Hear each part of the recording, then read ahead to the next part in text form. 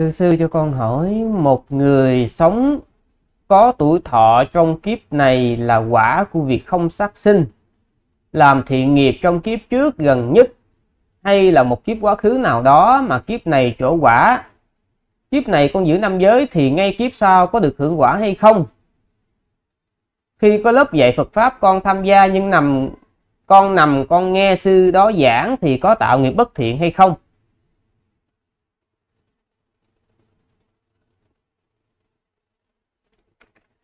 Uh, nói về cái sự uh, sự trổ quả đó. À, thì nó có ba cái kiểu. Thứ nhất á, là hiện báo nghiệp. Đó là gì? Đó là sự trổ quả. Quả ngay trong kiếp hiện tại.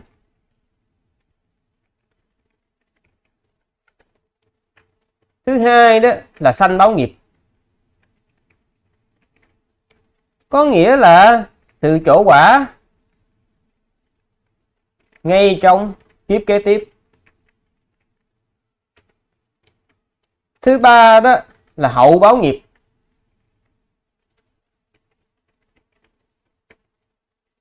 Là sự trổ quả trong một kiếp vị lai. Đấy. Thành ra đó chúng ta uh, sống thọ trong cái kiếp này đó thì nó có thể là do cái quả của ngay cái kiếp một kiếp quá khứ mà nó cũng có thể là quả của một cái kiếp xa xôi nào đó. À, cái trường hợp nào nó cho um, uh, cái trường cái trường hợp nào mà nó nó, nó cho cái quả trổ ngay trong kiếp hiện tại? Đó là gì? Đó là chúng ta làm một cái quả thiện lớn lao. Đó là chúng ta cúng dường đến một vị vừa mới xả diệt họ tưởng định. Đấy thì nó sẽ cho cái quả trổ ngay trong kiếp hiện tại. Hoặc là chúng ta cúng dường đức thế tôn thì nó cũng sẽ cho cái kết quả ngay trong kiếp hiện tại. Nhưng mà bây giờ kiếm đâu ra cái con cái con người nhất thế gian đó nữa. Cho nên cái quả mà chỗ trong kiếp hiện tại thì nó không có hiện tại bây giờ thì mình không có, ha. Mà cái kiểu chúng ta là tạo phước như là giữ năm giới ngay trong kiếp này đó, thì nó có thể chỗ ở trong cái kiếp kế tiếp ngay trong kiếp kế tiếp, hoặc là trong những kiếp sau nữa.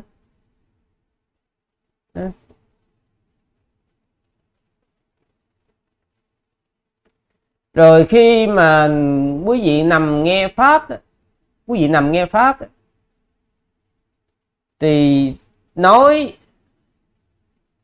đối với những người sơ cơ đối với những người sơ cơ thì tôi nói là dù sao thì nó cũng, quý vị nằm, quý vị nghe pháp thì nó cũng đỡ hơn à, cái cái việc là quý vị nằm mà quý vị đọc truyện à, quý vị nằm mà quý vị coi phim quý vị nằm mà quý vị làm các nghiệp bất thiện thì thay vì như vậy chúng ta nằm chúng ta nghe pháp thì nó vẫn vẫn tốt hơn. Đó là đối với những người sơ cơ. Nhưng mà đối với những người mà tu mà lâu hơn một tí đó thì sư phải nhắc nhở quý vị cái gì thì nó cũng có cái, gọi là, cái thói quen. Và trong cái ờ, duyên hệ thì chúng ta gọi nó là cái thường cận y duyên. Hãy cẩn thận với những cái thói quen đó. Hãy cẩn thận với cái thói quen đó. Bởi vì khi mà chúng ta quen, chúng ta quen là chúng ta nằm nghe pháp rồi đó, thì sẽ có lúc, thì sẽ có lúc chúng ta không thể nghe pháp ở một cái tư thế nào khác ngoài cái việc nằm mà khi mà chúng hoặc là khi chúng ta nghe pháp là tự nhiên chúng ta kiếm chỗ chúng ta muốn nằm. Cẩn thận ha, cẩn thận. Bản thân nó cũng không phải là cái thiện nghiệp đâu. Bản bản thân cái việc chúng ta nằm nghe pháp bản thân nó cũng không phải là thiện nghiệp đâu. Trừ khi mình bệnh bất đắc dĩ trừ khi bệnh bất đắc dĩ.